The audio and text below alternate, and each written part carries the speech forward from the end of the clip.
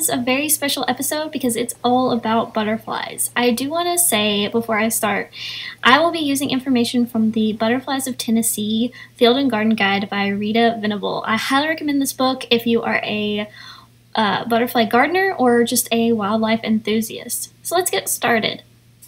So I went to my parents' home for the day and I filmed some butterflies. Now, the reason why I did this, other than just to visit with family, of course, is she, my mom, that is, had mentioned that the eastern tiger swallowtail butterflies were out and about, like going crazy at their house. So naturally, I took my good camera and decided to go over there and film. So I hope you guys enjoy this video. Um, right here, you are seeing two eastern tiger swallowtails uh, doing what is known as puddling. Um, puddling is where the butterflies bring up nutrients through their proboscis, uh, through a liquid source, um, through a puddle or a marshy area or a swampy area or something like that. Um, and this is on my parents' property. Um, and as you can see in the background behind the eastern tiger swallowtails is another type of butterfly. Um, and if you have the Butterflies of Tennessee guide, you can actually identify that butterfly as well. I have not done that yet. Um, so we're just going to be talking about the ones that I've identified in this video, which are the Eastern Tiger Swallowtails, and later you will also see my second favorite butterfly, which is the Zebra Swallowtail. Um, first of all, I do want to say that the Eastern Tiger Swallowtail is my favorite butterfly that is local to my area. Um, I live in East Tennessee, and we have a huge variety of butterfly species here. But to me, by far, the Eastern Tiger Swallowtail, which you can see here, is a beautiful butterfly. It's uh, yellow and black and has some blue markings on it as well, and even some kind of orange or reddish markings as well. Um, it is a swallowtail, and, it, and all the swallowtail species are called that because of the little tails that come off them that look like swallowtail.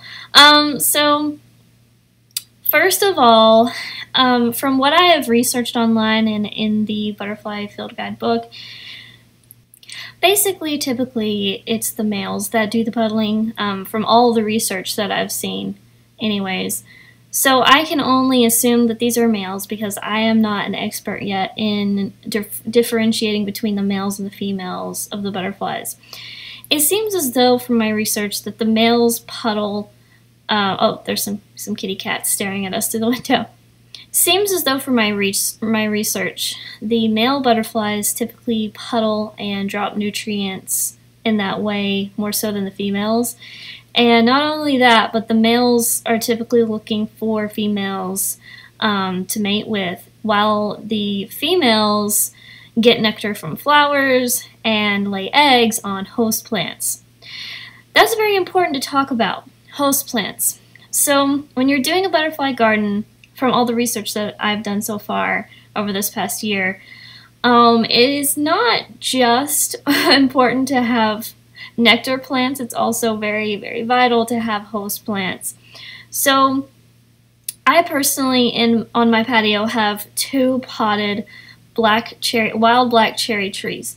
Wild black cherry trees are native to my area and are a host plant for the eastern tiger swallowtail butterfly. Now, whether or not they'll actually lay their eggs on it is another story. There are a lot of factors that go into them picking plants to lay eggs on.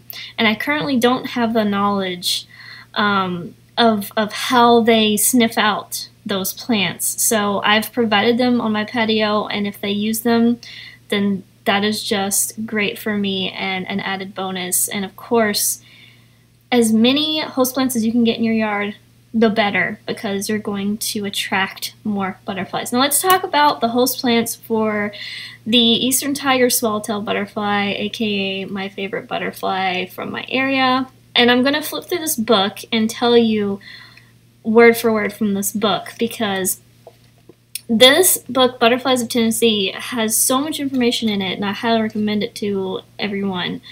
Um, the host plants section says reported host plants include plums, black, pin, and choke cherries, hawthorn, common apple, eastern cottonwood, American hornbeam, hickories, American basswood, um, southern catalpa, I can't say that word, tulip poplar, cucumber tree, sweet bay magnolia, spicebush, sassafras, white and green ashes, common lilac, common hop tree, common prickly ash, and black oak.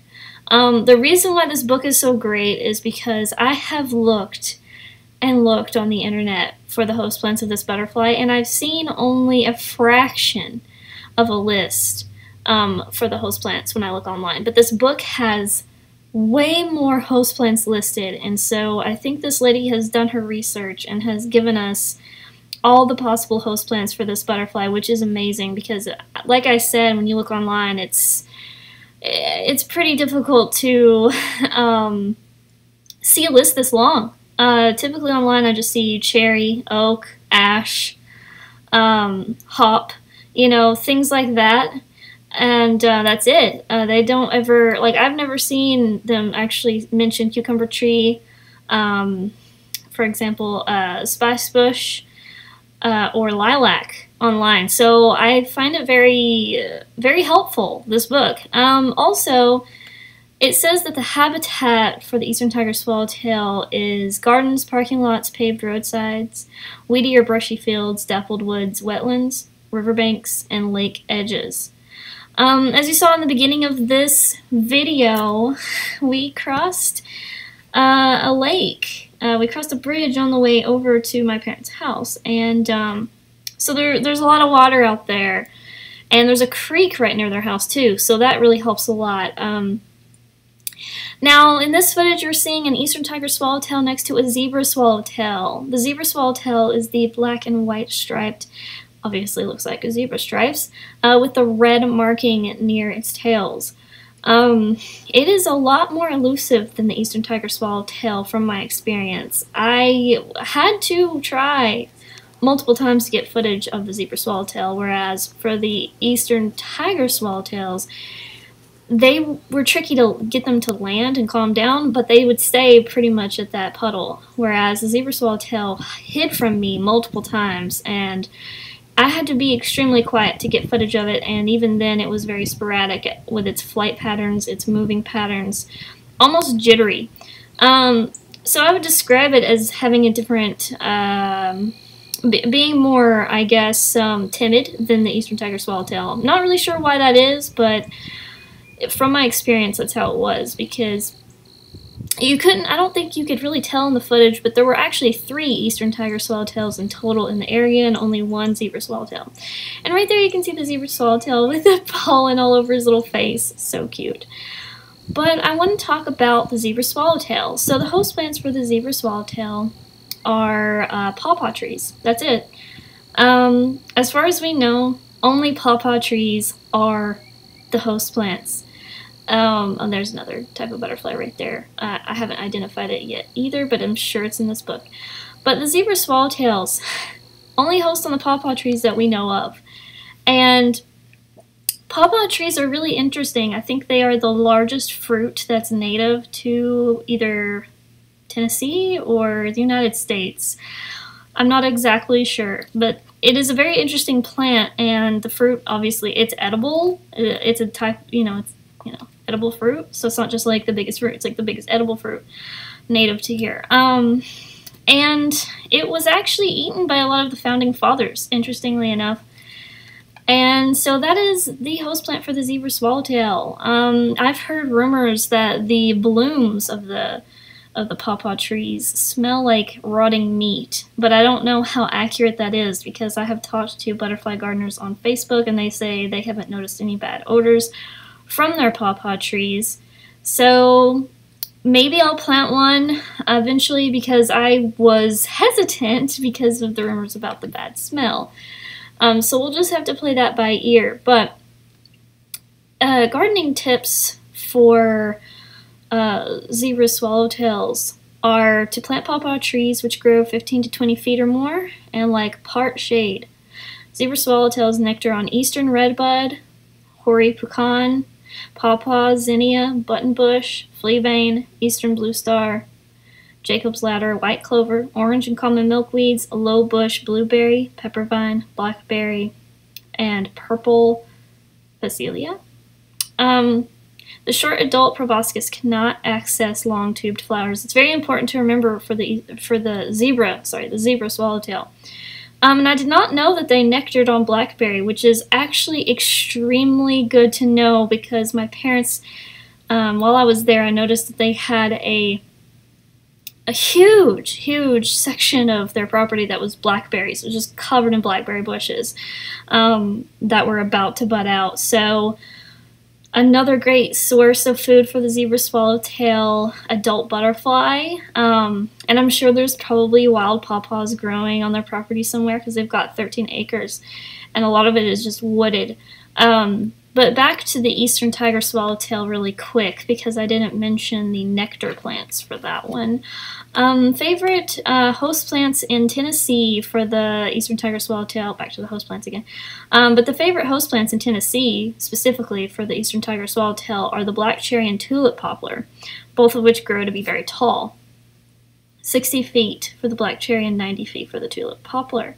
Sweet bay magnolia is smaller and has fragrant blooms.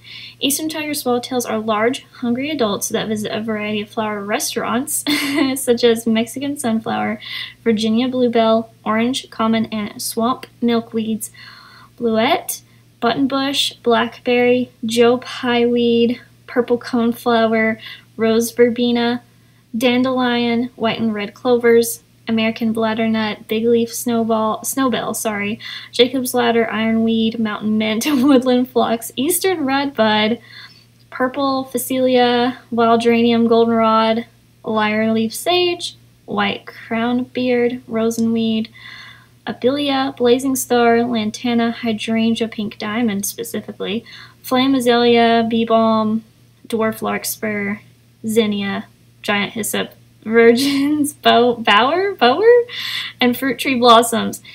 Um, so the reason I'm telling you guys all of this is because if, if any of you are interested in butterfly gardening whatsoever, I highly recommend it. It's really fun, it's really rewarding, and you get to see all this wildlife in your yard, not just the butterflies and caterpillars, but other things as well. Don't forget that if you are a butterfly gardener, do not be turned off by chewed up leaves because it's gonna happen. If you want to host the caterpillars, which in turn makes the butterflies stay in your yard longer and linger more, then you're going to have to sacrifice a little bit of leaf crunching. And I would suggest just planting extra large drifts of the plants instead of just one or two plants here and there because that will help maybe alleviate the hungry caterpillar's appetites. But I did want to mention one more thing before I go. The zebra swallowtail. Back to that one, the black and white striped one with the red. The habitat is as follows. Zebra swallowtails fly in rich forests with creeks or rivers where pawpaw grows.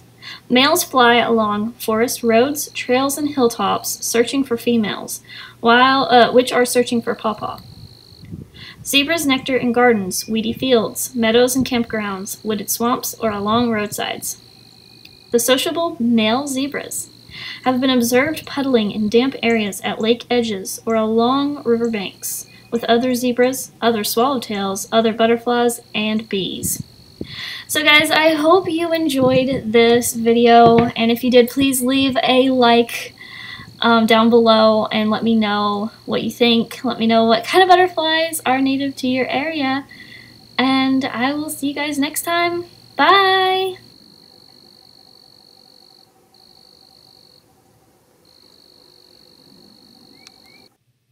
So before I go, I just want to shout out my patrons. They're on the screen right now, and I just want to thank them so much for supporting me. They're always so super kind and sweet, and they help me out a lot. Thank you guys so much for being patrons.